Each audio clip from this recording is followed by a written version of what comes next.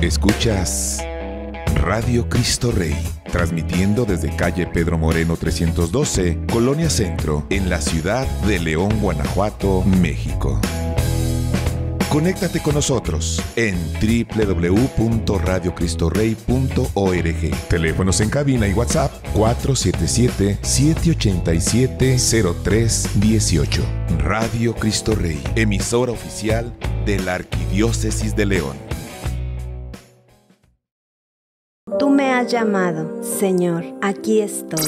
Iniciemos este recorrido por las congregaciones religiosas de nuestra Arquidiócesis de León con una nueva misión, un nuevo carisma, pero la misma alegría de seguir a Jesús. Esto es Coinonía. Iniciamos.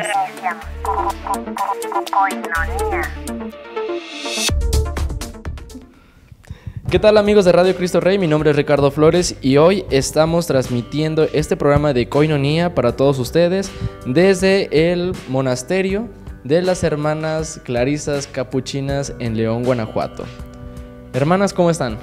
Muy bien. Bendito Dios. ¿Nos podrían decir su nombre, por favor? ¿Se podrían presentar?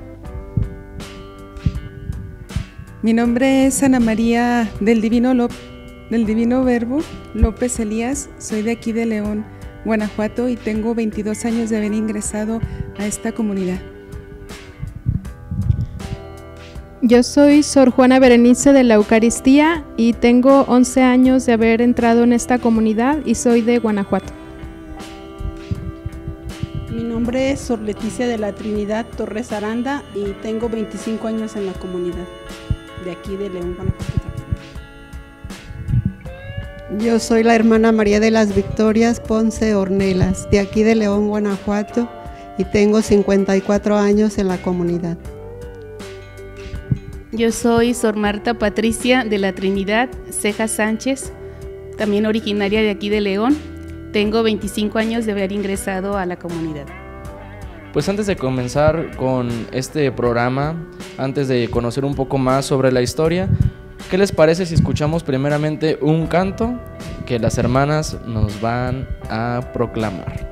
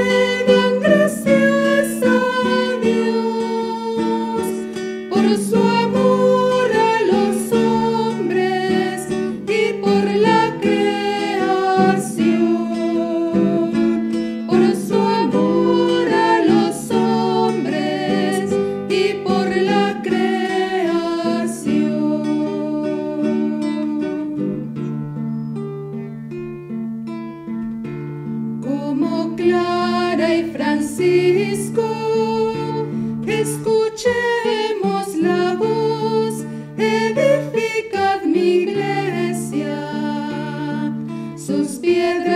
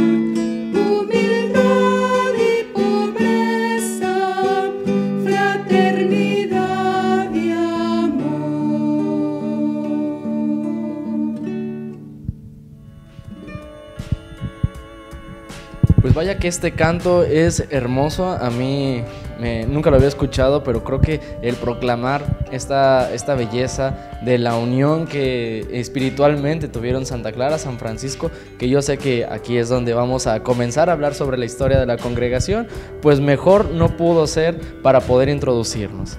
Muchísimas gracias.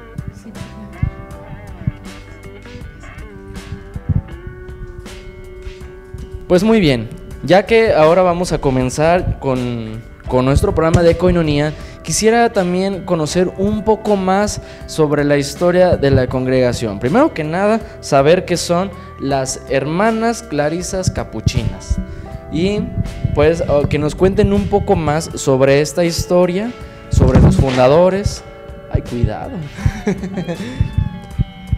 No, no hay problema. Que nos cuenten un poco sobre los fundadores, cómo inició esta congregación, cuántos años tiene y qué también, qué podemos nosotros conocer más sobre ustedes.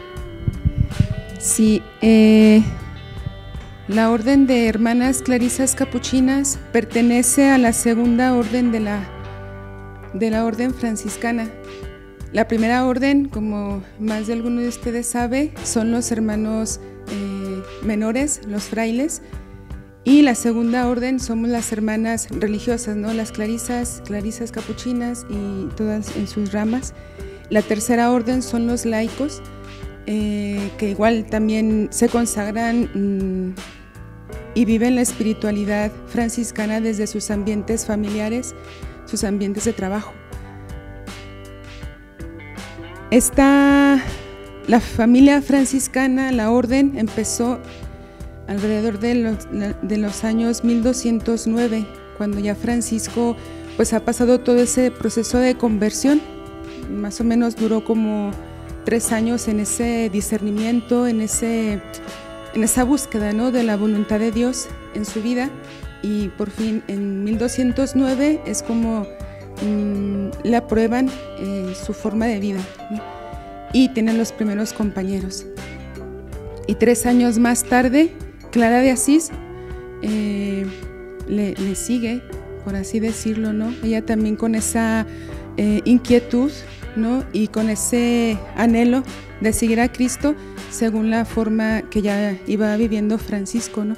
Aunque ella ya eh, había sentido ese deseo de, de seguir a Cristo más de cerca, pero Francisco es el que le indica eh, por así decirlo, le orienta ¿no? en, este, en esta búsqueda. Y le dice, pues vive el Evangelio así como vas, vas bien. Y bueno, ella dice, es que yo quiero vivir como ustedes, pero bueno, no era posible, pues en ese principio no, era muy bien visto.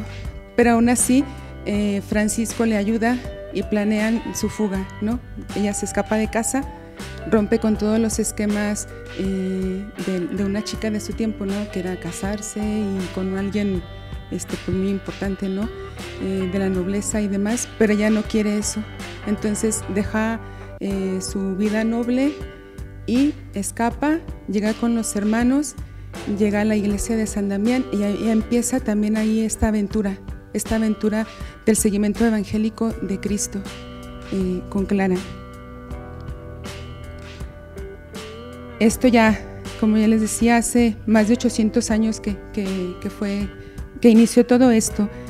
Eh, el seguimiento de Cristo pobre y crucificado es eh, lo que las hermanas y los hermanos queremos, queremos vivir en, la orden franciscana.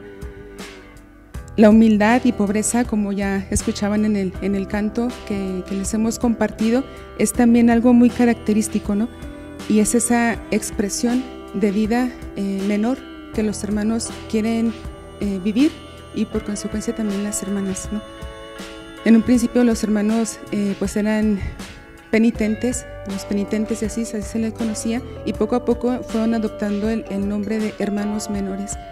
Y las hermanas al principio eran damianitas, pero después fueron adoptando y se les fue nombrando como hermanas pobres de San Damián, Después ya a lo largo de la historia, después de la aprobación de la regla de Clara, pues ya es la Orden de Santa Clara y, también hermanas clarisas. En 1223, 23, perdón, oficialmente es aprobada la regla o la forma de vida de Francisco, De, de hecho, estamos por celebrar, primeramente Dios, el próximo año, toda una serie de, festejos, celebraciones, conmemorando eh, pues estos centenarios, ¿no? Ahora en 2023 serán 800 años de este acontecimiento de la aprobación de la regla. Y eh, pues Santa Clara fue mucho tiempo más uh, tarde que le aprobaron también su forma de vida entre eh, tensiones y bueno, que, que, no le aprobaban, que le imponían ciertas formas ya establecidas y ella pues quería algo diferente, ¿no? Muy al estilo de Francisco, sí, porque muchos mm, elementos de la regla y la forma de vida de Francisco ella también los adopta. Ella fue la, la discípula más, más fiel eh, de Francisco, ¿no? En la que adoptó más eh, su espíritu de, de, él. Y ella en 1253, eh, dos, años, dos, días antes de, de, su muerte, recibe la, la bula de aprobación de, que es aceptada su forma de vida. Entonces, así como que ya pudo morir felizmente, ¿no? De que le han aprobado después de tanta, tanta dificultad. Qué dicha, ¿no? O sea, dos días antes para poder ya gozar ahora sí del cielo, pero ahora de, para poder decir el legado que ha dejado, porque es un legado que Santa Clara dejó, inspirado obviamente por Dios, para poder llevarlo y ahora también vemos los frutos casi 800 años después de esta aprobación y aquí vemos los frutos que son también ustedes. Sí, así es. Es el gran milagro que sigue haciendo Francisco Clara, ¿no? Que después de tantos años, pues ahí todavía jóvenes y, y laicos, gente de todas las edades que, que compartimos este, este carisma, vamos, hermoso, bonito, pues. Claro. Aparte, otro dato, Clara, Clara de Asís es la primera que, que, escribe una regla, cosa que en su tiempo, pues pensarlo que una mujer pues se aventara a hacer eso, ¿no? Y, ella lo, lo, lo, lo, logró, lo ha hecho. Eh, tenemos pocos escritos de ellas, pero muy, muy profundos, ¿no? Muy, mmm, donde expresa pues toda esa espiritualidad, toda esa experiencia y lo que ella nos quiere compartir a nosotros como, como sus hijas, sus hermanas. Yo tengo una duda, perdón por, por interrumpirla, pero siendo también eh, con la regla de, Santa Clara, el, el, hecho de lo que ella nos dejó, porque yo digo nos dejó porque es para toda la iglesia esta, este carisma, pero también es algo, una, una gran dicha saber que en la iglesia una, una mujer porque a lo mejor muchos pensarán ¿no? que la iglesia pues hace menos a las mujeres y la verdad es de que nunca ha sido así. A veces eh, se llega a tener algunas mentalidades, ¿no? Pero, ¿qué podemos nosotros de decir? Tenemos todavía de Santa Clara que ella de decía que hiciéramos y todavía lo, lo, conservamos. ¿Qué es lo que podemos eh, decir así? Santa Clara dejó algo, ¿no? Dejó este legado. ¿Qué es lo que todavía podemos rescatar de ella? La vida en pobreza eh, fue algo que ella, perdón, ella quiso como defender que se le aprobara. Ante, en, en, un principio le dicen es que no va a ser posible que, que, que, que una pobreza, pobreza, radical de no poseer nada. Y ella decía, es que yo así quiero vivir. Y todo a imitación de Cristo, ¿no? Entonces, eh, la vida en pobreza, y tanto así que ella insistió, insistió, hasta que se le otorgó ese privilegio de la altísima pobreza, de vivir eh, de su trabajo manual, ¿sí? no tener posesiones, no, te, no, no, pedir dote cuando alguien ingresaba, ¿no? Con el, trabajo de sus manos y también acudir a la mesa del Señor cuando eso no era eh, posible. Y pues hasta la fecha muchas de nuestras comunidades pues así, o sea, trabajamos que sí, sí, costura, repostería y vamos, pero también este, acudimos a la mesa del Señor, que es a base de donativos, ¿no? la, la generosidad de la gente que nos ayuda en especie, económicamente y de, de todo. Eh, otra, eh, la vida fraterna, la vida sencilla que ella quiso vivir, ¿no? Decía, todas somos hermanas, la que está al frente de la comunidad es la, es la madre, ¿no? Entonces ella sí quiso eh, estar, ¿no? Como una madre, como una hermana, ¿no? Más que una abadesa, la superiora y tal, sino una vida sencilla. Otro, ese anhelo de ser eh, espejo y ejemplo, ¿sí? Para las hermanas, eh, tanto cercanas como lejanas, ¿no? Las presentes y las futuras. Eh, de hecho, en su testamento eso, eso nos recalca y nos reafirma de hermanas, o sea, no se les olvide ser buen ejemplo, ¿no? Para las hermanas y, a la vez las hermanas con su ejemplo van a ser, van a dar buen testimonio a, la, Iglesia Universal, ¿no? Entonces hace un, hincapié en eso. Otra es una mujer que siempre vivió agradecida con, Dios Padre por la vocación que le fue otorgada y, que ella la ve como un don de Dios, ¿no? Así lo, percibe y en cada hermana también ve un don de Dios. O sea, Dios me dio esas hermanas, yo no las escogí, Dios me las ha dado. Y al final de su vida, pues es también ese agradecimiento, ¿no? Gracias porque me creaste, que es una frase que, que la caracteriza, ¿no? Al final de, de, sus días, de expresar eso, ¿no? Gracias porque, porque me creaste. Y yo pienso que eso es lo que hasta ahorita ha permanecido en, en, en las hermanas, ¿no? Ese ser ejemplos porque casi 800 años después tiene que haber algo diferente, ¿no? Pero también algo que siempre se conserva y es esto. El claro ejemplo, el claro ejemplo de Santa Clara, claro. Eh, nosotros lo notamos y sabemos que ella también nos dejó algo, bueno, yo lo veo también de esta forma, ¿no? Que no nada más para la vida consagrada, sino para toda la iglesia en esta amistad con Dios, pero esta amistad también que se puede de una vida santa con otro santo. No, eh, es algo que a veces dentro de la historia de Santa Clara, ¿no? Se, llega a decir como eh, una, una mujer que es muy hermosa, que también es amiga de San Francisco, que lo quiere seguir y que a lo mejor en nuestros tiempos uno puede decir qué escandaloso sería eso en su momento, ¿no? Pero cómo rescatar esta gran y bella amistad de decir dos personas que se entregaron de lleno a Dios y nos demostraron que Clara y Francisco tienen una amistad que es de Dios y es para Dios. Yo creo que eso es también algo que hay que agradecer también, así como Santa Clara enseñó, de estar siempre agradeciendo. Y nada una, última pregunta antes de irnos a, corte comercial. Eh, lo de capuchinas, ¿es por los, por los cafés capuchinos o por qué es? Bueno, fuera, mucho. Eh, bueno, aquí a lo largo de la historia eh, después de la muerte de Clara, Francisco, pues eh, sí, se expandió, se expandió por en muchos países, eh, monasterios, comunidades de frailes, ¿no? Que, igual quisieron vivir esta espiritualidad, este carisma.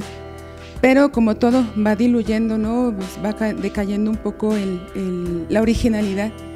Entonces, en, un momento de la historia, en el siglo XVI, alrededor mm, más o menos, a mediados de, ese siglo, surge eh, de entre los hermanos eh, el deseo de volver a, las fuentes, Es la reforma capuchina.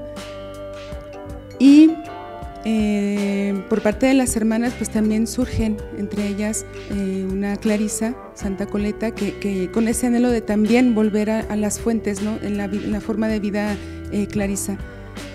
Y bueno, no, se concreta, pero después surge una, una mujer, María Lorenza Longo, ella catalana, pero que emigró a Nápoles y ella después de que enviudó, pues dedicó parte de su herencia a la construcción de un hospital para enfermos eh, incurables y, pues bueno, allí haciendo la labor ¿no? de, cuidar a estos enfermos, también de rescatar a, mujeres que se dedicaban a la vida eh, de prostitución, y ella pues ayudándoles para sacarlas de ese, de ese, estilo de vida.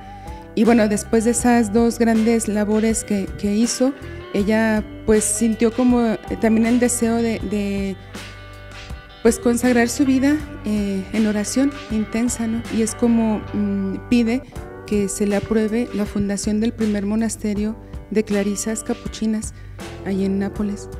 Eh, ella quiso, al principio fue terciaria franciscana, sí, pero después quiso vivir según la regla, la forma de vida de, de Santa Clara y se la aprueba entonces ella fundó el primer monasterio eh, de clarisas capuchinas. ¿Y por qué capuchinas? Porque estuvo bajo la orienta, orientación eh, de, los, de los capuchinos que ya para entonces ya, habían, ah, ya había sido aprobada su, su reforma en los, los, hermanos menores capuchinos. Entonces por eso el, el, el, nombre, no tanto por el café ni por nada, pero eh, eso. Entonces, eh, lo que caracteriza al estilo de, la reforma capuchina es la, austeridad, la pobreza, eh, una intensa vida de oración, la clausura en las hermanas, una clausura rigurosa y, pues igual la vida fraterna también, como, en toda la orden. Pero ahí es por eso eh, el nombre de la reforma y tal. Interesante saber también esto porque yo creo que muchas personas, así como yo ahorita en este momento, tendrán esa, esa curiosidad y yo creo que más de uno ha de decir vamos con las capuchinas para que nos den un capuchino, cuando la realidad pues no es eso, ¿verdad? Hemos escuchado esta parte de la historia y es bastante interesante. Ojalá que te quedes aquí con nosotros. Vamos a una pequeña pausa y volvemos en tu programa Coinonía. Una pausa y seguimos con más de Coinonía a través de Radio Cristo Rey. Servicio Inmobiliario Ferbal. Te ofrece en la zona más confortable, rodeado de la naturaleza y de mayor plusvalía en León, terrenos en Comanjilla con excelente vista panorámica de 240 metros cuadrados. Precio de 120 mil de contado a tres pagos. A 5 minutos del eje metropolitano y carretera a Comanjilla. Zona privada con malla perimetral, caseta de vigilancia, paisajes y vistas panorámicas. Facilidades de pagos hasta 100. Promoción. Pago de contado riguroso del 7% de descuento sobre precio de contado. Promoción válida hasta agotar existencias. Informes al teléfono 477-143-4479. Ferval. Liderazgo Inmobiliario.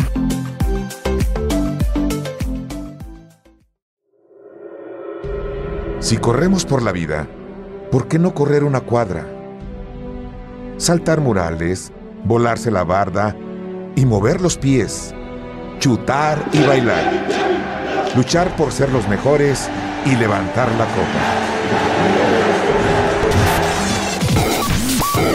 Eso es, dos en el área.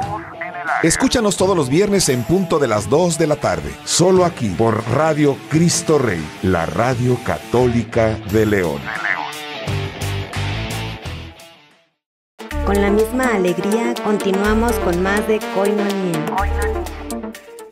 Amigos, regresamos aquí a este programa de Coinonía. Estamos con las hermanas Clarisas Capuchinas y pues espero que nos puedan contar un poquito más porque quedó como un poco de la inquietud todavía de, los capuchinos y, aquello de, de, los cafés y demás, pero yo creo que ese es otro tema.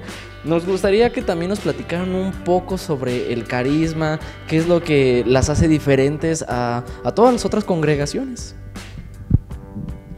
Bueno, nuestro carisma como tal es adorar, contemplar asiduamente a Dios, siguiendo las huellas de Cristo pobre y crucificado, viviendo en obediencia, sin nada propio y en castidad, desde la sencillez, humildad y fraternidad, a imitación de nuestro Padre San Francisco y nuestra Madre Santa Clara.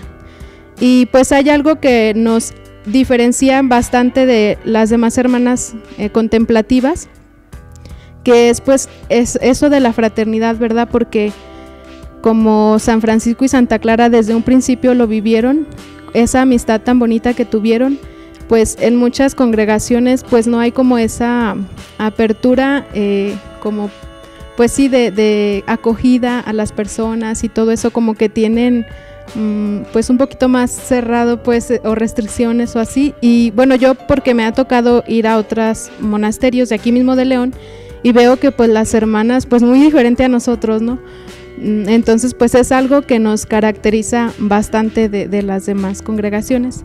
Y a continuación las hermanas van a compartir un poco de su vocación qué fue lo que les, les llamó, por qué aquí, por qué pues, quisieron dar esa respuesta a Dios con las clarisas capuchinas. Hermana, una pregunta. ¿Está nerviosa? Un poco. no, y lo digo porque nuestros, nuestros televidentes, nuestros oyentes, a lo mejor no lo, no lo han notado, pero ella es la más seria de todas. y así con esa risa pues, nos dimos cuenta que sí es la más seria. Hermana, por favor, su testimonio. Bueno, eh, contar un poco la historia es un poco difícil, ¿no? Porque la historia, pues siempre es larga las historias, ¿no? Pero así como que más breve, algo que ya mencionaba, y pues al menos a mí, en primer lugar, pues ni quería ser religiosa, ni quería ser capuchina. Y pues aquí estoy, llevo 25 años en el convento, pero algo que a mí me, me hizo elegir este lugar, ¿no? Después de que me estuve resistiendo, eh, fue que tuve la oportunidad de, conocer diferentes monasterios. Primero en un principio decía, ser misionera. Empecé por lo menos, ¿no? Porque yo no quería, pues, comprometerme. Sí, fui cercana a la iglesia, estuve en apostolado de catequesis, pero sentía que era lo que, pues, hacía todo fiel cristiano, ¿no? Y poco a poco sentí la necesidad así como que de dar un poco más pero no tanto. Entonces decía, bueno, me voy un año de misionera y ya, se acabó, aquí terminamos, ya no quiero más este, interrupciones, ¿no? Porque en la mente, pues yo tenía, no sé, planes de terminar una carrera, desarrollarme, pues, este, pues, profesionalmente, ¿no? Y formar una familia, tener una casa muy grande, que sí la tenemos, ahí con un jardín muy grande, no sé, como que en mi mente era eso, sí, como que lo más normal y lo anormal pues es esto. Entonces ya cuando pues no se me dio hacerlo del año de, misiones, pues no, como algo hubo factores que no se permitieron. Yo veía religiosas con uniforme, o sea, con sus hábitos, con estas, pero siempre misioneras, ¿no? De catequesis, de esto, porque yo todavía sentía que pues quería estar con mi familia. Y en uno de esos cursos que nos daban hubo una maestra la maestra Reina, que nos daba clases de pedagogía infantil, mencionaba mucho que las de vida contemplativa y las de vida contemplativa y que la oración, bueno, o sea, como que sutilmente se me fue metiendo la inquietud, yo ni conocía de las de vida contemplativa, por conocer. Y fueron primero unas religiosas, ¿no? Eh, no digo nombres, pero las conocen. eh, fui con ellas primero, pero por alguna circunstancia eh, vi que no era conveniente, ¿no? Eh, por cuidar también mi vocación. Eso es eso que yo estaba experimentando y vi que no era prudente.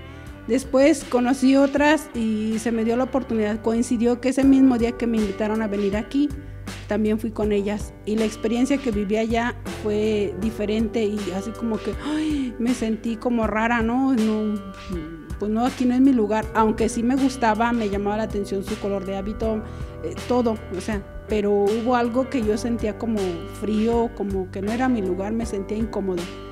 Y cuando vine aquí fue algo muy clarito porque fue en la tarde, ese mismo día. No, en cuanto entré, llegué a la capilla y no sé, sentí un ambiente y dije, de aquí soy. Aunque no quería, no, pues fueron las primeras que rechacé, pero sin embargo fue con las que vine quedando. Y fue algo muy, pues bonito porque ya en la experiencia que uno va conociendo a las hermanas, pues vas mm, reconociendo cómo Dios por ahí te va llevando, ¿no? En un principio siempre hay la resistencia y algo que muy, muy claro yo lo vi en mi etapa de noviciado, eh, una frase de San Juan, ¿no? Que dice, no son ustedes los que me han elegido, sino soy yo. Para mí esa es como una frase clave que cuando tengo momentos de como de turbulencia, como que digo, mejor quiero sacatitos para mi conejito, no, prefiero, vuelvo a esa frase y también pues me sostiene, ¿no? De decir si es cierto, o sea, yo no quise, o sea, aquí no hay vuelta de hoja, o sea, tú eres el responsable de esto y tú me sacas de donde me metiste, ¿no? Y pues aquí estamos, pues eso.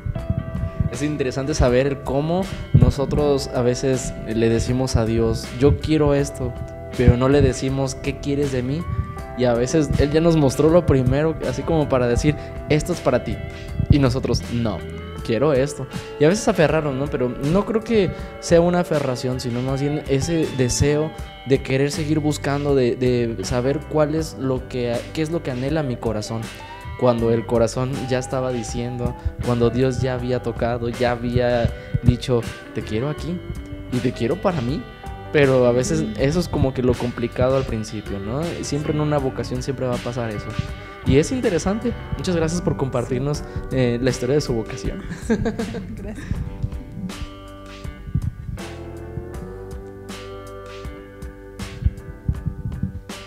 Hermana, ¿usted cuántos años tiene de vida religiosa? El año pasado cumplí el 13 de enero 50 años. Órale, o sea que estamos de fiesta todavía. Sí, todavía resuenan los tambores. Sí, y tuve la dicha de que vino un hermano capuchino que yo conocí de seminarista y ya siendo él sacerdote, lo invité para que él presidiera la Eucaristía. Órale, qué padre. Sí. Oh, eso sí es una, una dicha total. Y fue una dicha realmente muy grande para mí. Pues felicidades, de verdad. Pues- ¿Nos pudiera contar un poco de la historia de su vocación? Pues en cuanto pueda, sí. Yo me preguntaba ahorita que estaban las hermanas trayendo las imágenes para decorar un poco, pues aquí. Estaba viendo el Santo Cristo que tenemos aquí enfrente, que es, a mí me da mucha devoción siempre desde que yo entré. Pues no sabíamos la historia, o bueno, más bien yo no la sabía, porque entonces no nos explicaban mucho. Y hay un punto en, en la regla de Santa Clara que ella dice, en ese tiempo pues no se estudiaba mucho tampoco. Y dice, las hermanas que no saben leer no se cuiden de aprenderlo. Y a mí me llamaba mucho la atención eso, no porque no me gustara, sino que de hecho yo era maestra antes de entrar. Y y pues me costaba mucho dejar el, mi trabajo. Desde que yo tenía 15 años iba a entrar, pero ya cuando vine a preguntar qué se necesitaba, me dijo una de las hermanas, ¿y por qué quiere entrar? Ahorita la Madre Superiora no puede venir. Y a mí me llamó la atención que me contestara así muy terminante, ¿verdad? Y dije, dentro de mí, dije, no le dije a ella, en paz descanse, ya murió. Y dije, no, yo no entro aquí, no, no puedo, si todavía no entro y me hablan muy terminantemente. Y me fui y yo pues seguí trabajando donde estaba. Estaba trabajando con las hermanas siervas del Sagrado Corazón de Jesús, pero yo sentía algo especial y yo daba clases también antes de entrar. Pero la voz de Dios me decía ahí con las capuchinas, incluso yo tenía una hermana aquí, que ya murió ella, y una hermana me decía, pero ¿por qué, ¿por qué venía aquí? Le digo, pues yo desde que nací sabía que tenía una hermana capuchina. Me decía, ¿por qué? Pues porque mis papás se casaron dos veces y ella era hija del primer matrimonio, yo del segundo, y por eso yo la conocí ya monjita. Y pienso que de ahí también me empezó, empecé a sentir el llamado de Dios. Y después cuando ya entré, mis superiores de entonces me pusieron a que enseñara a las hermanas pues algo de lo más básico de ortografía, de aritmética. Entonces, sí, las hermanas gozaban mucho porque ya hermanas mayores mm, pues se reían de lo que escribían y, y todas gozaban mucho. Pues pasó ese tiempo. Ahora pues mis hermanas ya entran muy profesionistas, ya no tengo que enseñarles, ellas me enseñan a mí. Pero del Cristo de San Damián que yo decía, pues le, habló a San Francisco, ¿verdad? Y le dijo, repara mi iglesia. No tanto la iglesia material, pero sí era una iglesia muy derruida. Y él decía, denme una limosna, una piedra, porque aquí van a habitar unas mujeres que alabarán por siempre al Señor. Y fue pues primero Santa Clara y nosotras que estamos aquí. Y pues yo, después de, pues de tantos años, pues no es fácil contar una vida de más de 50 años. Ha sido bonita, han sido experiencias mm, pues dolorosas, como pues para Cristo fue doloroso también, ¿verdad? Más para nosotros o para mí. Y pues después de que todavía suenan los tambores de mis bodas de oro, pues doy gracias a Dios. Y como hay una frase de nuestra Madre Santa Clara que dice, con la ayuda de mis hermanas logré yo realizar mi vocación. Y eso estoy haciendo porque me gusta mucho esa frase. Muy buena frase. Nunca la había escuchado.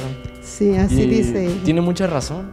Digo, si estamos hablando de, de la hermandad y justamente lo que nos ha dejado Santa Clara para la iglesia, insisto, pero sobre todo para ustedes en la congregación, ¿cómo decir que sin ellas pues no podría crecer?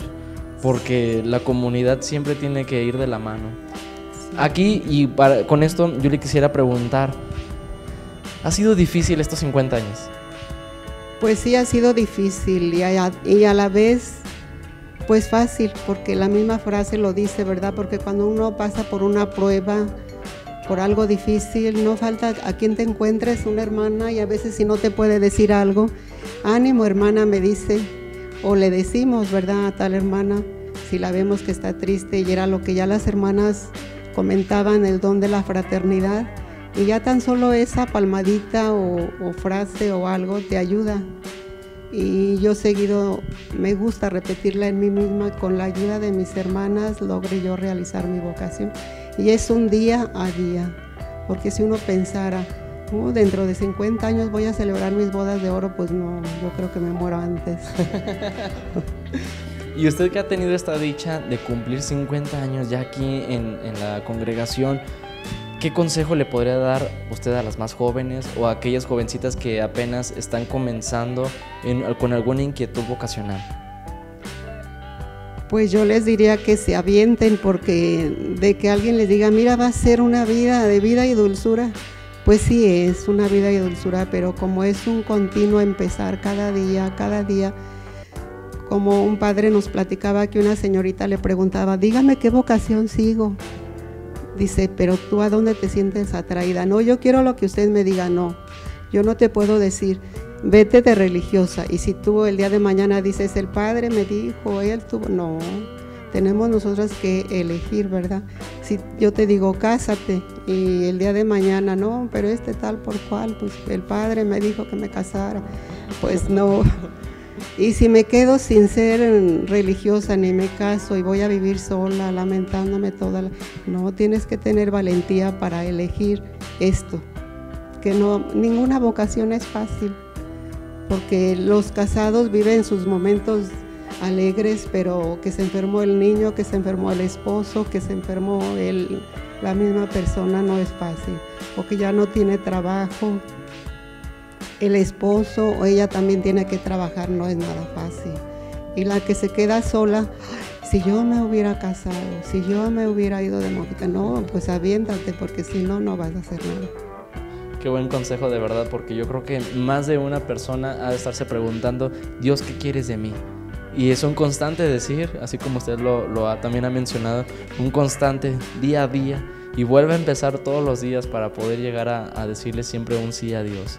Pues bueno, antes de continuar con nuestra tercera parte, pues vamos a un pequeño corte comercial. Hacemos una pausa y seguimos con más de Coinonía a través de Radio Cristo Rey. Todo el recorrido santo a tu alcance. 16 maravillosos días de viaje único e inolvidable. Visita Tierra Santa.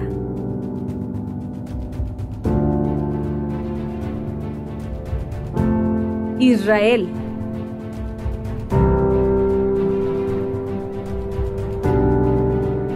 Turquía. No pierdas la oportunidad en nuestro próximo viaje el 30 de septiembre del 2022. Un servicio de calidad premium. Viaja a Jerusalén, Belén, Galilea, Tiberiades, Nazaret, Río Jordán. Valle del Jordán, Oasis del Jericó, Tel Aviv, Ciudad Nueva y Vieja, Mezquita Azul, Estambul, Mar Bósforo, Gran Bazar, Muro de los Lamentos, Vía Dolorosa. Iglesia de la Natividad. Monte de los Olivos. Santo Sepulcro. Nazaret. Incluye vuelo redondo, hotel 4 y 5 estrellas, alimentos, traslados en autocar de lujo. Servicios de guía turísticos de habla hispana, seguro médico de regalo. No te preocupes, viaja y disfruta. Aparta ya con 300 dólares.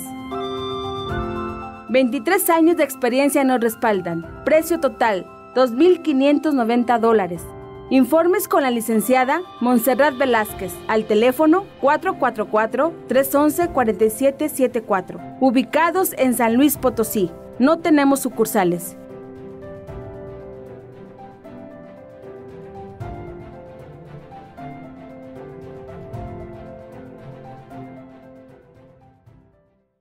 Misma alegría, continuamos con más de Coinonía. Y continuamos aquí en tu programa Coinonía. Recuerden que estamos con las hermanas Clarisas Capuchinas. Y pues nos estaban contando un poco sobre la historia de su vocación. Y ahora la hermana va a continuar. Eh, Nos gustaría también conocer, porque digo, aquí son ahorita ustedes cinco. Y cada una tiene algo muy específico, algo muy bueno que contarnos de cómo inició su, su historia vocacional. Hermana. Bueno, yo no lo reconocía tanto así que hubiera empezado desde tan pequeña. Sin embargo, haciendo un pues un recuento de mi historia vocacional. De niña, este, soy huérfana de papá. Mi mamá, pues, después vivió en Amaciato, ya no se pudo casar. Y ese deseo de ella, que antes de casarse ella era catequista, de siempre cuando iba a comulgar, me decía, Patti, ofrece esta comunión por todos los que no podemos pues recibirlo, ¿verdad? Y era tanta, tanta así la insistencia que decía, pues bueno, pues acérquese. Y pues ya después me, pues me enseñaba o me mostraba realmente pues cuál era su estado de vida, su situación y, y lo entendía, sin embargo era un dolor pues muy fuerte dentro de mí, que ese mismo dolor me hacía pues buscarlo más a, nuestro Señor, buscar mm, la Eucaristía, cogía a mis hermanitos y pues nos íbamos a misa, mi mamá pues casi siempre trabajaba. Y, pues así fui pasando primaria, secundaria y había compañeras que siempre, Patti, este, hay hermanas religiosas que te pueden ayudar. O sea, pues, ¿a qué me van a ayudar, verdad? Pues mm, les decía que sí, pero pues no, no entendía esa parte. Terminé eh, mm, la prepa, igual compañeras que seguían con la misma y decía, bueno, pues ¿por qué me mandan siempre con unas religiosas? Pues ellas tendrán la respuesta o la solución o, o qué igual, yo seguía sin entender. Para mí Dios, bueno, la Santísima Trinidad siempre ha sido pues algo, un misterio muy grande, pero que me siento acogida dentro de ese misterio. Y la Virgen María también, ¿verdad? Y, así terminé, entré al Seguro Social a trabajar, al mismo tiempo la prepa, terminé, entré a la universidad en una licenciatura, licenciatura en informática. Y teniendo novios, desde los 13 años tenía novios, pero no sé, era algo que, que no llenaba, que había siempre un vacío, un, un algo que no se me completaba.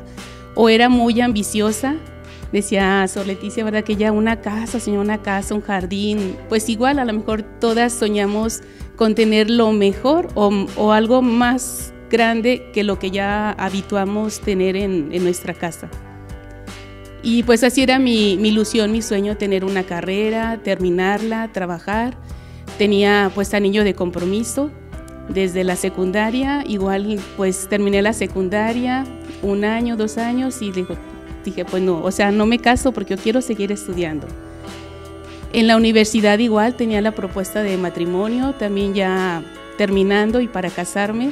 Sin embargo, para mí era algo que no me llenaba, que yo decía, algo, algo me falta. Es esa, esa voz, ¿verdad? Así como la campana que nos llama a la oración. Igual a mí me decía algo dentro que, no era ahí, sino era en la Eucaristía, terminaba la Eucaristía, comulgaba y me iba al sagrario. Y ahí en silencio, no sé, era algo que me, que me hacía sentir todo y me duraba la semana. A diferencia de pues estar con el novio y salir y todo, pero era algo pues pasajero que se iba. No quedaba algo que, que imprimiera dentro de, de mí. Y así, hasta que conocí a las hermanas, me inscribí en sexto semestre en la carrera. a mi tía, mi madrina de bautismo, es hermana de mi mamá. El padre, el párroco, lo envió a lo del plan diocesano de pastoral. Y pues ella por el trabajo no, tampoco no podía y pues mm, fui yo a regañadientes y molesta y demás. Pero fui y ya mm, ante una, estaban dos, dos amigas de mi, de mi tía.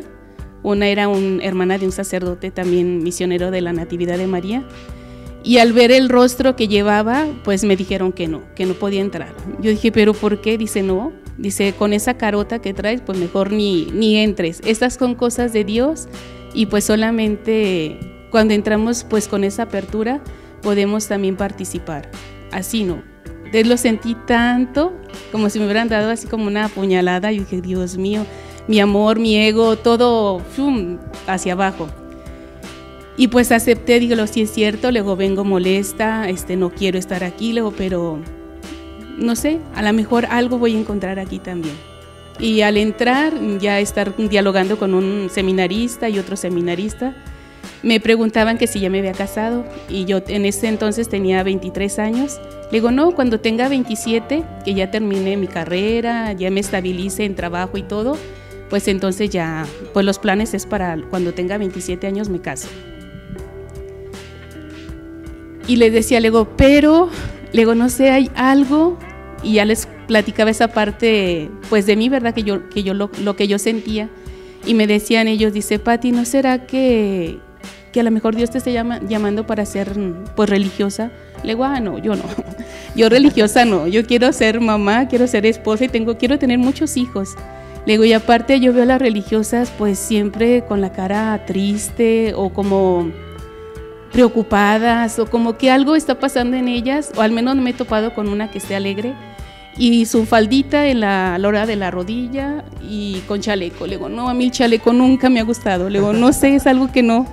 Y la falda también, o es arriba o hasta abajo. Le digo, en la rodilla, no, tampoco no me gusta. Y ya, pues me hicieron la mención de las hermanas.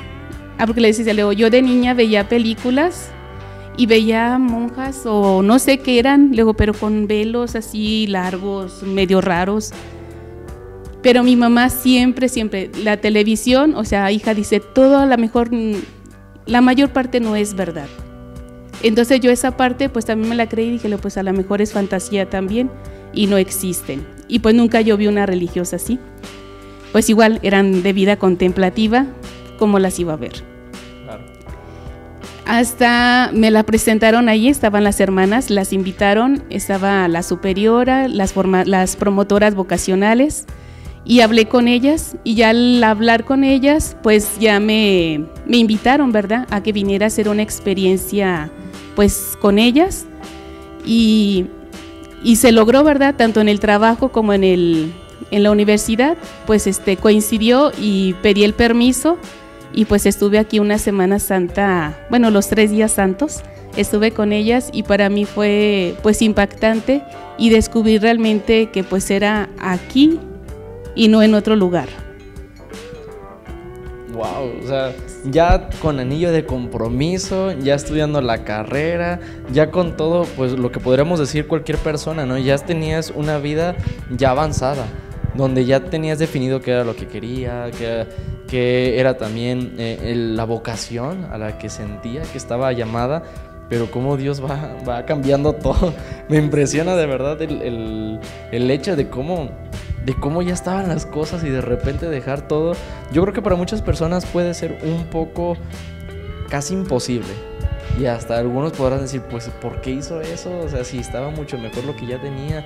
Pero como bien has dicho, los vacíos que se, se sienten al no, al no estar a lo mejor en el lugar indicado, la persona indicada, la vocación indicada. Y cómo Dios ahora sí movió todo para que definiera para acá. Que ciertamente no, no tienen ustedes un hábito hasta las rodillas, tampoco tienen chaleco, pero tampoco tienen un, velo muy largo. Entonces yo creo que a lo mejor sí era como, eh, no era tanto como lo decía las novelas o la televisión, ¿no? Pero pregunta, Ahora, cuando cuando usted entró aquí se dio cuenta, por ejemplo, de la vestimenta que aquí usan. ¿Cuál fue su impresión? Ah, bueno, incluso eso, mm, acudí con una psicóloga por lo mismo, que me decían, dice, no, estás mal, o sea, estás loca, ¿cómo te vas a ir dejando todo? Y pues una amiga me llevó, ¿verdad?, con una psicóloga. Y ya al estar platicando, ella me decía, dice, oye, si te has fijado el color del hábito que tienen las hermanas, le digo, es café, le digo, algo blanco y creo que negro. Dice, ¿y esos colores te gustan? Le digo, no, le digo, el blanco sí, me encanta andar de blanco, azul marino o rojo. Dice, bueno, Pati, le digo, pero hay hermanas que andan de azul marino. Ay, así como que en ese momento yo dije, le digo, bueno, yo no es lo que busco, o sea, no es el color, no es el, no sé, no había pensado eso en el color o cómo, cómo andaban. A lo mejor cuando yo dije eso del chaleco y la faldita, pues a lo mejor igual andaba perdida o, o no sé.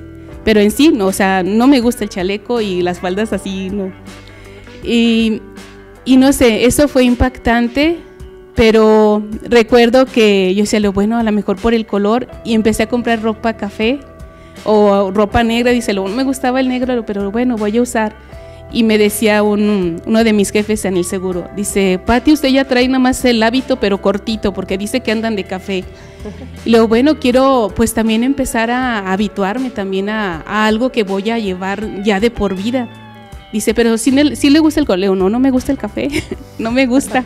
Ni tomar el café tampoco no me gustaba. Y ahora pues me encanta. que no me lo quiten. Pero es algo que, que creo que Dios va, va abriendo camino. Me fue muy difícil el, pro, el, proceso vocacional, por lo mismo siempre, pues es que usted lleva ya mucho camino recor recorrido. Ah, aparte también mi historia personal no es tan, pues tan sencilla, es bastante complicada con pues una conversión también.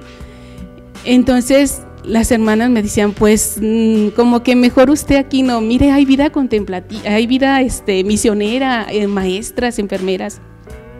Pues yo las escuchaba y yo se le digo, nuestro Señor va a decir dónde.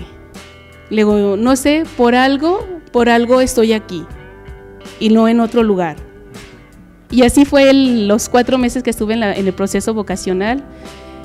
Y pues estos 25 años igual han sido subidas y bajadas, pero pues igual el camino hacia el cielo pues creo que no es mmm, derechito, ¿verdad? Ni planito, es cuesta arriba, empedrado y con muchas espinas. Entonces igual ese, ese seguir y ver a quién estoy siguiendo y que no estoy sola, no sé, o sea, me hace sentir segura y no sé, es algo que, que está dentro y, y, no me siento, aunque esté a veces sola por nuestro estilo también de vida, en momentos de soledad o de silencio, no me siento sola. Como a veces escucho personas que Ay, yo no puedo estar sin el ruido, la tele, el ruido, la televisión, uh, la radio, etcétera. Le digo, no, yo no puedo, o sea, no, no, no me hace falta todo ese ruido, al contrario creo que me, me estorba para estar pues en esa eh, rumiar acá adentro la palabra y estar pues con él, ¿verdad? Claro. Algo así. Y ahorita que está diciendo eso, bueno, me gustaría cualquiera de ustedes que nos, nos contara un poco cómo es su día a día aquí en el, en el monasterio, convento o monasterio. Primero vamos a aclarar eso, porque sí, se puede llegar a decir muchas veces, ¿no? Porque algunas personas eh, bueno, en algunas congregaciones sí, sí dicen, ¿no? El, el, monasterio tal, otros llegan a decir el convento, pero también aquí hay que saber distinguir para que no erremos a la hora de decir. Igual, este, también si nos pueden ir platicando qué es lo que hacen día a día. Bueno, convento o monasterio es válido las dos. Se puede decir de las dos maneras, no okay. hay ningún problema. Y bueno, un día a día eh, ordinario en nuestra comunidad pues para empezar, no todos los días son igualitos. El horario, pues ahí se respeta, pero pues no todos los días son iguales. Para empezar, nos levantamos a las 5 de la mañana. Nos dan 20 minutos para llegar a la capilla. Eh, empezamos la oración, que rezamos el oficio de lectura y laudes. A nosotros nos rige nuestro horario la liturgia de las horas. que pues son siete alabanzas que se hacen en el día al Señor y pues con eso iniciamos. De hecho a mí fue algo de lo que me impactó, me gustó mucho y me llenó y, fue una de las razones por las que quise entrar porque me gustó mucho este pues cómo las hermanas lo hacían. Y después de ahí nos quedamos en oración eh, personal y ya después a las 7 de la mañana es la Eucaristía todos los días. Después de ahí, en cuanto se termina la Eucaristía, porque a veces varía, depende del sacerdote, eh, rezamos la oración de tercia, que es una de las horas intermedias, y otras devociones que tenemos. Y ya cuando terminamos esas oraciones salimos directamente al comedor para hacer el desayuno. Después de ahí, como eso de 8.20, 8 y media, depende, a la hora que salimos, eh, nos dan tiempo para hacer nuestros aseos, pues ir a atender la cama y pues lo ordinario que se hace. Eh, porque nos dividen el, trabajo aquí en la casa, unos se llaman oficios, que es en ese tiempecito que se hace, que hacer el aseo de algunos pasillos, limpiar la cocina, lavar los trastes del desayuno, los baños, y después de ahí, como a las nueve y media, depende igual de la hora que salgamos de misa, todo depende de ahí. Eh, salimos a las oficinas, que son las diferentes áreas de trabajo de toda la casa, que puede ser la sacristía, el lavadero, la ropería, eh, donde visten las imágenes, donde hacen los ornamentos, la cocina, la hermana que prepara las tortillas, el comedor, la área del torno, que es el recibidor donde vienen las personas, las hermanas que abren la puerta. Más o menos es la división que se hace aquí en la casa del trabajo. Y de ahí hasta, bueno, a las 10 de la mañana se toca un toque para hacer una oración que se llama comunión espiritual. Y pues es donde andes, tienes que rezar esa oración, pues para unirte este, con toda la comunidad. Y ya después a las 12 tocan para rezar el ángelus. Después a la 1.15 eh, hacen otro toque que es para ir a rezar las otras dos horas que nos faltan intermedias, que es sexta y nona y el rosario. Después de ahí, a la hora que salgamos, entre 2.10, 2.15, depende, este, salimos a la comida. Ya después de ahí, eh, a la hora que salgamos de la comida, pues nos dan un tiempecito de descanso. Ahí igual pues varía, te puedes ir a descansar si tienes tiempo, si no tienes otro que hacer de la oficina o así o quieres ir a lavar, a planchar, algo, algo que tengas, este, te dan ese tiempo libre. Y mucho depende del área donde estés trabajando, que te quede la tarde libre o no, depende, depende de ahí. Y ya después a las 4 de la tarde hacen otro toque que es para rezar otra comunión espiritual. Y ya de ahí, sobre todo las hermanas de las costuras son las que vuelven a, sus oficinas. Porque pues sí, es, es de las oficinas más entretenidas que por más que te das prisa, pues no avanzas. Entonces tienen que hacerle pues horas extras casi casi, porque si no, no sale el trabajo. Y ya después de ahí, eh, a las 6.15, este, tocan para hacer la oración de vísperas y oración personal. Y de ahí de la capilla venimos saliendo 15 a las 8 de la noche, venimos a la cena. Y ya después de la cena dan como 20, 25 minutos, depende. tenemos nuestro tiempo de recreo de recreación, ya pues hacemos juegos o nos dejan un día a la semana ver eh, las noticias o si alguna película de un santo allá, muy de vez en cuando. Este, o jugamos voleibol, depende. Ah, y este también pues convivir pues ahí con las hermanas. Eh, a esa hora, pues sí, en realidad las mayores, pues casi todas ya se han recogido a sus piezas, porque pues y ahorita más en este tiempo que pues se hace oscuro muy pronto, ya ven oscurito y ya se quieren ir a dormir las mayores. Entonces pues ya las que andamos por acá, pues ya convivimos en ese tiempo. Y a las 9 de la noche, el último toque del día para rezar la última oración que se llaman completas. Y pues así es nuestro día a día ordinario. Pues hay veces que cambian las cosas, pero pues el horario pues se respeta. Y pues sí, diariamente tenemos la adoración del Santísimo. Eh, nos van turnando, ya hay una lista, cada tres meses la cambian, que igual depende de las oficinas y todo eso, pues te toca el horario de estar una hora de adoración en frente al Santísimo. Durante todo el día nos vamos rolando. Después de la misa se expone el Santísimo y hasta las 8 de la noche que salimos de la capilla es cuando se reserva y pues ya a diferencia de las hermanas clarisas capuchinas sacramentarias que ya sí lo tienen las 24 horas del día.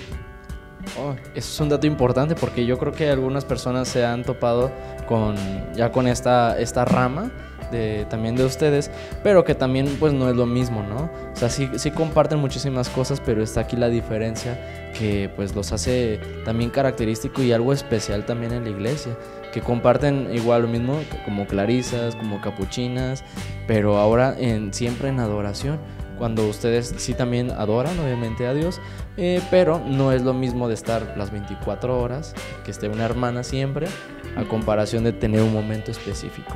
Y algo que me, me ha llamado la atención, porque nos está comentando de que también, eh, pues sí tiene momentos eh, de rato libre, momentos para ver alguna película de, Santos o algo que también está impactando en el mundo, ¿no? Por ejemplo, yo a veces eh, llego a decir, hay películas muy buenas que a lo mejor no hablas tal cual de Santos, pero están ahorita muy bien porque hay productoras católicas que están haciendo nuevas películas, constantemente están dando nuevos mensajes de evangelización, aunque no sea como tal un santo, pero están dando ese, ese mensaje.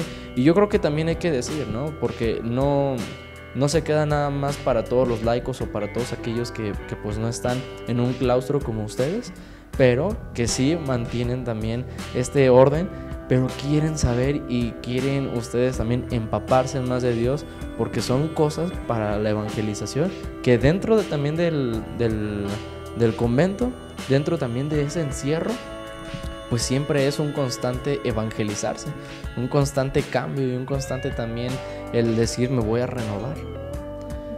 Tengo una duda. ¿Qué tan buenas son en voleibol? Pues ahorita ya no tanto. Oh. Estamos como en los tiempos de hambre, de las vacas flacas, no, no se crea. No, hubo un tiempo de, de, la, de la comunidad así muy, muy fuerte, este, que sí jugaban muy, muy bien y era, equipos y todo así, muy padre, que platican, a mí ya no me tocó. Este, pero cuando el padre Rafa estuvo aquí con las hermanas mucho tiempo de capellán y todo eso, pues él las animaba y todo. Y como pues sí, la verdad eran más hermanas y había muchas jóvenes y todo, y pues bien activas y pues muy, muy buenos equipos. Ahorita pues lamentablemente sí hay jóvenes, pero pues ya estamos un poco más achacosas, etcétera, etcétera. Entonces, este, pues ya, ya no pueden jugar igual, ¿verdad? Pero sí, pues de vez en cuando hay las que pues nos animamos y todo a bolear, pues ahí andamos. Ya no somos tan buenas, la verdad, para qué le echo mentiras. Pero sí, pues un juego por ahí de vez en cuando con algunos seminaristas, pues nos lo aventamos, aunque perdamos o lo que sea, pero el chiste es divertirse. Es que esto es interesante porque a lo mejor uno puede decir, oye, ¿y las hermanas harán deporte? ¿Harán algo así? Pero ahora que lo mencionas, o sea, es muy padre saber de que ustedes también, pues, se alimentan en este aspecto porque el cuerpo también ocupa, ¿no? O sea, sí, de sí, repente sí. El, el, caminar, el hacer deporte, y no sé si ustedes lleguen a salir alguna vez aquí del, del convento o, o, nada más están ustedes aquí siempre encerradas o tienen que venir, por ejemplo, en caso de, de una enfermedad, tiene que venir el médico para acá, ustedes salen.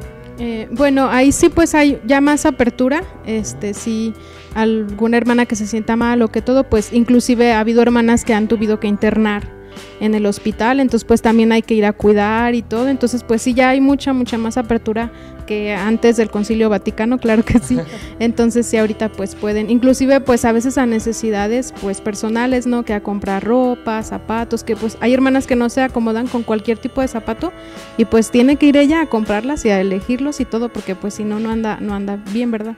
Entonces sí hay más apertura este pues en ese sentido y de lo que mencionaba de salir pues a, a como a paseos esas cosas este no muy ordinarios salimos pero sí nos dan este pues ese momento. Se han dado casos no muy, muy, seguido pero como haya cada año cada dos años depende este de la de la superiora o todo eso que dicen ay pues es que ahora pues hemos trabajado mucho pues piden el permiso con el obispo y ya pues se concede y pues ya sí hemos hemos salido este hacia algún otro lado eh, y pues en sí, vacaciones nosotras sí tenemos, no fuera, pero aquí dentro, este, pues son como para mí tres momentos así muy fuertes, que es, es en, en, los tres días de Pascua. Eh, después en la Natividad de María, nosotros pues sí la celebramos así muy en grande. Son pues ocho días o a veces más, depende de que pues sí tenemos, nos cambia un poco el horario, nos levantamos a las seis de la mañana, una hora después, ¿verdad? pero algo es algo. Claro. Este, pues sí hay un poco más de, de descanso pues en las oficinas, sobre todo las de las costuras, en ese tiempo no van pues es dicha estar ahí porque no van, no trabajan, pero bueno, tienen otras actividades, ¿verdad? Eh, también en Navidad, que ahora viene, este, pues también sí tenemos, después de haber trabajado tanto para los preparativos y todo eso, pues sí se nos da un tiempecito así como de más libre, de, por decirlo así, ¿verdad? ¿Hay alguna forma de cómo ustedes se sustentan? Pues mire, eh, hacemos rompope, eh, que de eso pues no sale mucho, mucho, pero algo es algo. Y también vestimos las imágenes del Niño Jesús, misterios, todo eso, hacemos ornamentos también. Y tenemos, gracias a Dios, ahorita este, bastantes bienhechores que sí pues nos, nos aportan, este, gracias a Dios. Y pues también hay una tiendita aquí que pues se venden artículos religiosos y eso, este, pues también sí aporta pues bastante. Pero sí, gracias a Dios, este, ahorita pues no ha habido necesidad como otros monasterios que tienen que vender comida, que tienen que hacer muchas cosas pues para poder sustentarse realmente porque sí la pasan un poco más mal que nosotros. Gracias a Dios, como le menciono, tenemos todavía bastantes bienhechores que nos, nos siguen apoyando. Entonces sí, sigue, sí es un mito lo del capuchino, ¿verdad? Eh, ah, lo del capuchino. También hacemos capuchino cuando gusten. Ah, de verdad. Pero ¿sí? sí, sí, Pero muy estilo de nosotras, no como el que venden de la maquinita. Ok. ese, ese está muy diferente. Sí, el de nosotros es más natural, sin conservadores ni, ni cosas así. Sí, sí, sí, sí, hacemos. No vendemos, pero sí, si alguien quiere, pues le hacemos.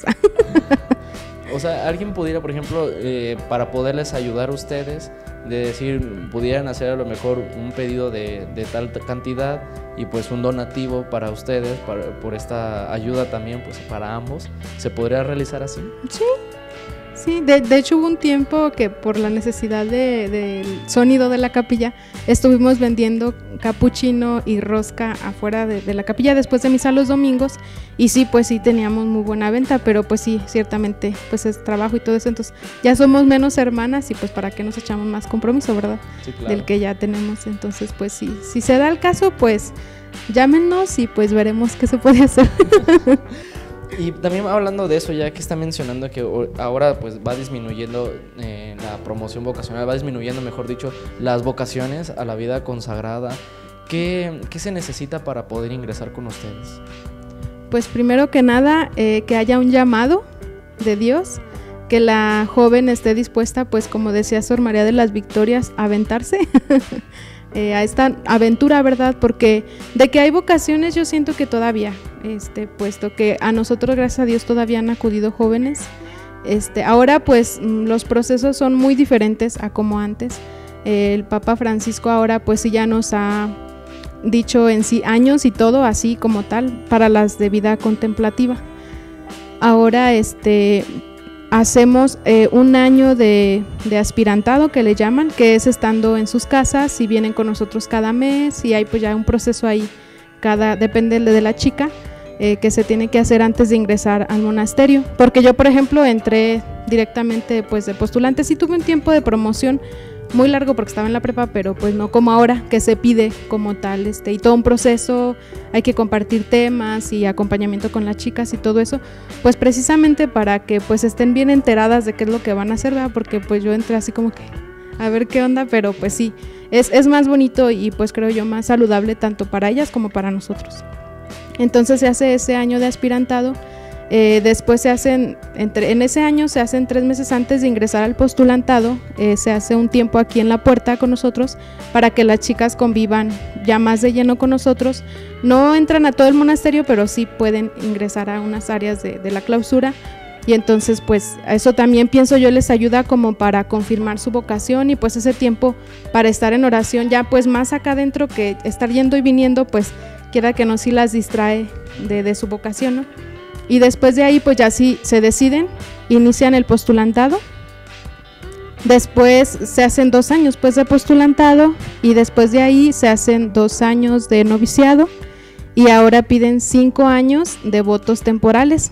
serían nueve años de formación inicial y con el año de aspirantado pues se avientan diez años para poder tener el anillo en el dedo. Entonces sí, ahora es más tiempo, pero precisamente como hay crisis de vocaciones que ingresen, pues ha habido crisis de vocaciones que ya han salido, ¿no?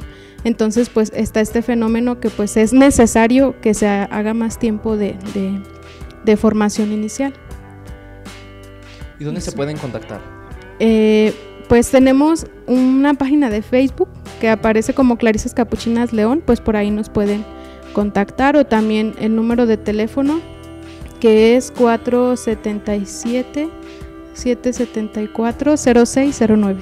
Ahí nos pueden este, marcar y pues ya como ha habido muchas chicas que marcan, ¿qué se necesita para entrar? Que es muy raro, ¿verdad? Pero que sí se han dado de que, wow, así como que, ¿qué? ¿Está diciendo bien? Pues sí, nos pueden, nos pueden contactar por ahí. Perfecto, pues yo creo que eso es una, una buena razón para que también se contacten con, con, ustedes, hermanas, pero sobre todo también para que puedan ustedes decirles a las demás personas, a las jovencitas, si tú conoces a alguien que tiene una inquietud vocacional, puedes acudir también con un sacerdote, también aquí con las hermanas, que te ayuden a discernir un poco sobre esta vocación, porque deben de saber ustedes que también las hermanas, pues ellas son también buenas consejeras espirituales, que ellas también reciben aquí a, a las personas para poder en, alguno, en alguna ocasión poder eh, charlar sobre estos temas, pero también nuestros problemas que tenemos de ordinario, muchas veces necesitamos que alguien nos llegue a dar un consejo, pero un consejo bueno.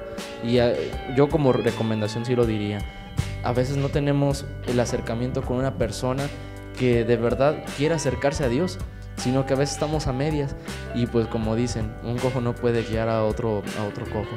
Entonces, creo que es algo bueno y sería muy bueno que también se acercaran. ¿Ustedes aquí tienen misa para todos los fieles? Eh, ¿Los domingos o qué día? Toda la semana está abierta la puerta que da acceso a la capilla uh -huh. y puede ingresar el, el, pueblo de Dios para participar de la Eucaristía. Y ese es el aporte que queremos dar aquí en la diócesis, que cada monasterio en el lugar donde, donde están es lo que queremos dar. Este aporte es como nuestra misión ser sostenedoras de los miembros de la iglesia, ¿no?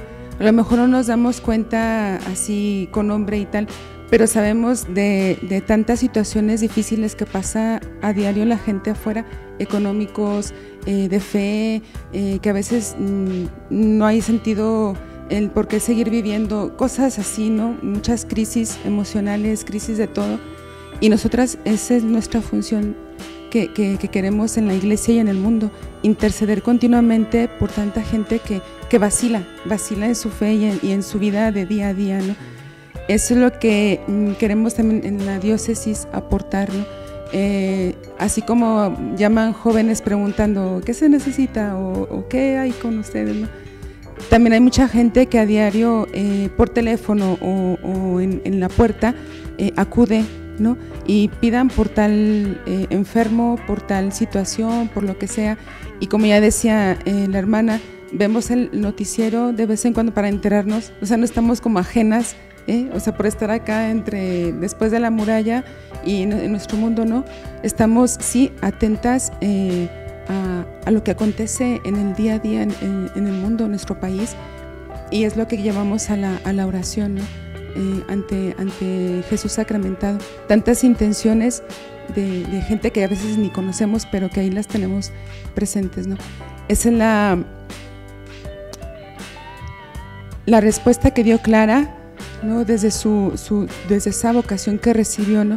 al igual que Francisco, ser eh, construye mi iglesia, repara mi iglesia, también Clara en ese sentido, también se sintió llamada a reparar la iglesia, eh, orando por todos estos miembros eh, que vacilan, ¿no? Tanta gente. Eh, y aunque Clara también, ella estuvo viviendo en clausura, pero también estaba en contacto con la, con la gente, con el pueblo, ¿sí? No estaba así como que apartada, ¿no? Esa es la novedad de, de, de, Clara y sus primeras hermanas y Francisco y sus primeros hermanos, llevar la vida religiosa a las ciudades, ¿no? No estar apartadas allá en el monasterio y lejísimos, sino cercanas a la ciudad, pero este, también en esa vida de soledad, de oración. Entonces, es, la combinación. Pues muchísimas gracias. Yo sé que la vida consagrada, pero en, especialmente eh, aquellos que siempre están en oración, aquellos que no que han optado también por consagrar su vida a una, a una hermandad, a esta fraternidad, a esta congregación, siempre son eh, como si fueran los pulmones de la iglesia aquellos que nos dan ese respiro, aquellos que nos están manteniendo siempre, porque son los que están constantemente orando por las necesidades, orando también para que Dios pues siempre tenga personas que lleven su palabra y ustedes son justamente esto. Son como esos pulmones que, que tiene la iglesia para todos porque son quienes sustentan y quienes siguen dando tanta vida, pero tanta vida espiritual, esta riqueza espiritual que dan a toda la iglesia. Pues muchísimas gracias. Gracias también por abrirnos aquí este espacio para todos nosotros que estamos aquí detrás de este televisor, pero sobre todo para que nos den esta oportunidad de conocer más primero de ustedes, después ya de la congregación y sobre todo de acercarnos más a Dios. Les agradezco muchísimo hermanas, de verdad, sinceramente, de corazón, y que Dios siempre bendiga su monasterio, que Dios bendiga siempre también esta congregación, que Dios ya casi ha permitido por 800 años de aprobación, pero con más años todavía de vida que ha tenido desde Santa Clara y San Francisco de Asís. Muchísimas gracias. Y pues estás aquí en tu programa Coinonías. Te, espero en la próxima emisión de aquí para conocer otra congregación eh, que vamos a tener. Déjanos también en los comentarios si quieres que vayamos con alguna congregación en específica y nosotros también iremos con ellos. Muchas gracias. Le podemos compartir otro, como ya para finalizar, otro canto. Sí, claro que sí. Vamos a escuchar un último canto y con esto nos despedimos. Yo soy Ricardo Flores y esto fue Coinonía.